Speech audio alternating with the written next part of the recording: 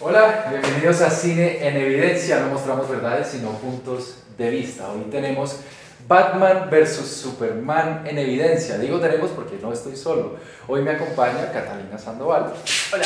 Bienvenida nuevamente. Gracias. Bueno, en una palabra, Batman vs. Superman. Eh, difícil una palabra para describirla, pero podría decir emocionante. Emocionante. Tu peli favorita de Jeremy Irons. La misión. Perfecto. Vale. Adelante, gracias, gracias.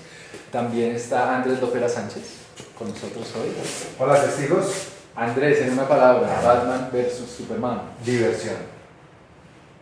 Película favorita de Jeremy Irons. Deadbringers, que aquí la tradujeron Pacto de Sangre, genialmente, y es de David Cronenberg. Él hace dos papeles en esa película. Ok, muy bien. Gracias, Andrés. Gracias, Adelante. Y Sebastián Hillera. Testigos. ¿cómo Sebas, en una palabra? Megalómana. megalómana. Sí, Ok. Y eh, tu peli favorita de Jeremy Irons. tengo dos. La versión del Mercader de Venecia y eh, El Rey León, que él hace a Scar. Ok. Es muy chévere. Adelante. Gracias. Gracias. Bueno, ayúdenme a definir. Batman vs. Superman es la historia de. Bueno, yo diría de pronto que es la historia de un cómic específico en el cual surge eh, el Salón de la Justicia. Entonces en ese cómic eh, se enfrentan a muerte eh, Batman y Superman porque tienen diferencias conceptuales respecto a cómo salvar el mundo, ¿no?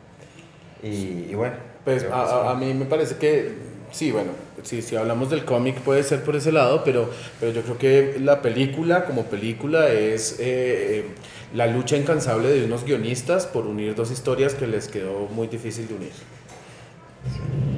Ok, bueno, yo lo que veo es que es la historia de dos egos muy grandes, de dos superhéroes que ven como un poco lo que dices tú, tratando de, de hacer una misma tarea pero de lugares diferentes, con un poco de demencia, con un alto nivel de, de ego y de demencia. Además hay otra, otra, otra abstracción, Metrópolis y Ciudad Gótica, Ciudad Gótica, parece que son como parece que son como Pereira y Manizales, que Sí, sí, sí, de acuerdo. Sí, o sea, entonces Pues ahí están los afanes de, de lograr unir estas Sí. dos historias Sí, como, sí, como sí. a fuerza de patadas, Sí. más o menos. Bien. La escena. Upa. Uy, yo, yo sí tengo una escena que me encantó. Más allá de las secuencias de acción, pues porque, ajá, para eso íbamos. Pero eh, la escena del juicio a Superman me pareció una gran escena. Todo el juego que hace eh, la mujer con el, con el frasco de té de la abuela eh, antes del bombazo, me parece que es una escena de una potencia y de una tensión dramática muy bien construida. A mí me gustó mucho la escena en la que Batman como que cabeza y tiene un sueñito y que es ese futuro disruptivo eh, raro que es un Superman como con un combo de, de seguidores, una gente ahí toda rara en un mundo futurista y todo eh, mm, arrasado. Eso me gustó mucho. Como mostrando lo que viene, tal vez. Sí, sí, en las sí, próximas. Sí, sí, de Mm. pronto como haciendo un guiño ahí. Mm. Pero no, era solamente una cabeceadita que se pegó Batman. Hay una escena en la que Superman está tocado por, por un, mo- como una mole de personas, como, como si fuera un dios, y él se pregunta qué está pasando con él, o sea, de qué se trata. Me parece que ahí está, digamos, el trasfondo de toda la, Sí. de toda la película. Esa escena sería para mí la... Muy bien. Bueno, pero yo puedo decir otra escena. Ajá. Otra ver. escena que es, wow, yo nunca pensé que fuera a ver eso en cine. Superman le dice a Luisa Lane, yo te amo. Y Luisa Lane te dice, pero yo te amo más. Eso es una gran escena. ¿Seguro? Por eso. Ha debido decirle yo te super amo. Yo tengo Por eso. Yo voy a bien. aprovechar este momento para guardar silencio. en shock. Bueno. Adriana, En una, shot. una testigo, nos mandó. Espera que quedamos en shot. Adriana, una testigo, nos envió un video dándonos su opinión de la película. Batman vs Superman. Es una, es una película compleja, la vi con mi sobrino. Me parece que es un revuelto, un complejo de historietas de superhéroes y villanos en una sola película, con diálogos pésimos eh, y que abre las puertas a la Liga de la Justicia y abre las puertas a historias de nuevos villanos. Eh, muy larga, pero bueno, digamos que es un poquito enredada, un poquito entretenida, un poquito chistosa. Bien. Es un poquito de película. Y valió un poquito de plata. Sí, valió. Gracias, Adriana. valió por eso. Muchas gracias. números se quedan, pero Muchas gracias Adriana Muchas por gracias, su, Adriana, por su claro. punto de vista. Muy Gracias. bien. La próxima vez me encantaría que fuera la sobrina la que nos manda el video. Si Pero no, sabes una Sí, cosa, es tienen que, es que yo sí quiero opinar sobre eso y es que a mí me parece que esta no es una película para Para geeks, ni para niños, ni para geeks. Es decir, los que son absolutamente amantes de los cómics, yo creo que deben estar bastante indignados con la película. Al contrario, No sé, ¿no? están súper felices porque la película es muy fiel. Les gusta mucho Superman, eso es increíble.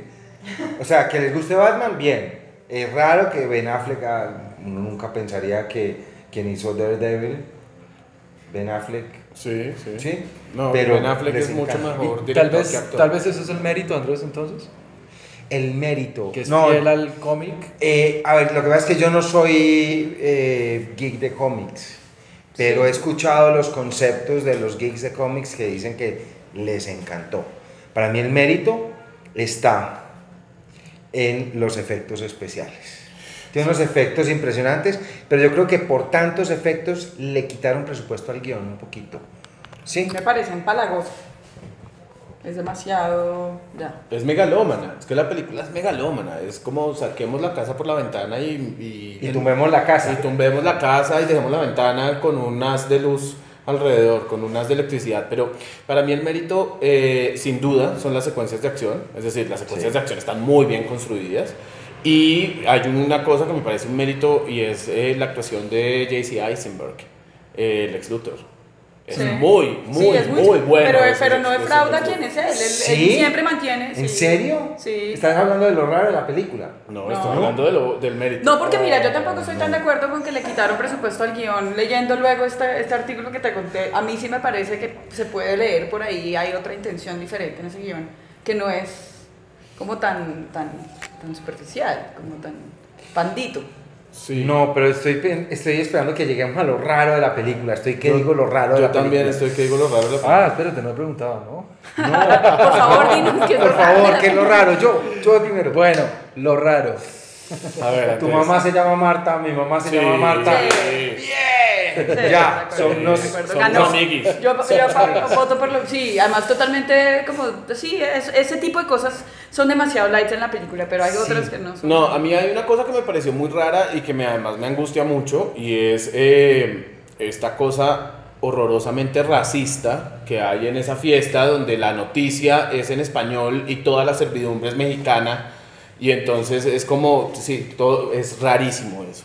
A mí eso me pareció muy raro. Y ahí es donde lo adoran. Ahí es donde lo Ahí es adoran, donde se además. genera esa, esa, Sí, esa sí. Y que la de noticia sea en castellano y que la, toda la servidumbre de la fiesta son un poco mexicanos ahí encerrados en esa cocina, me pareció muy delicado, eso por un lado. Y por otro lado me pareció muy raro ver a Batman echando bala, Batman no echa bala.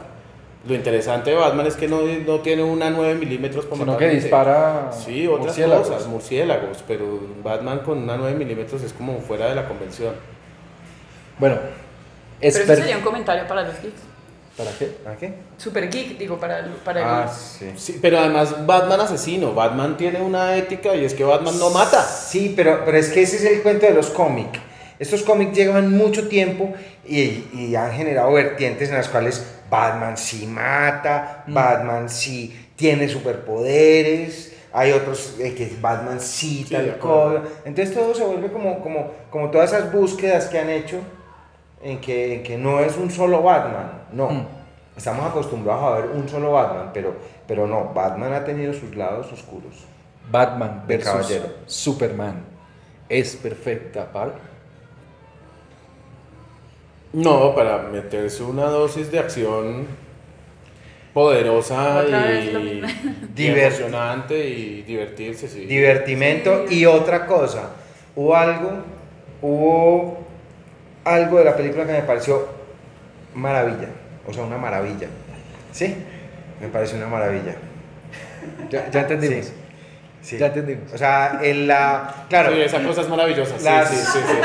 Sí, el alimento del ojo Maravilla. con la mujer es maravilla maravillosa, es fabuloso. Creo que para las chicas también es un gran alimento Sí, al ojo. total. Sí, bueno, y también lo raro, qué pena Sí, me devuelvo, pero a mí esa Luisa Lane me causa tanto ruido, Sí, a mí también. no me gustó nada. Si no tiene personalidad, doña Luisa Sí. Lane. Me parece Sí, que es un sí. personaje. Y hay otra cosa que me pareció muy rara en términos de script.